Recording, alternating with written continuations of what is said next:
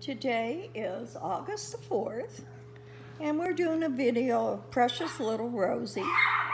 She is a female Yorkie. She was born on June the 8th, and as of today, she's eight weeks old, and she weighs one pound, 15 ounces. She's as sweet as can be. Her ears are sticking up great.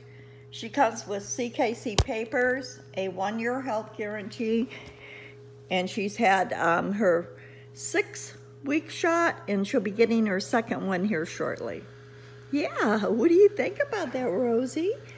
Is that fun to play with? Hmm? Is that fun to play with?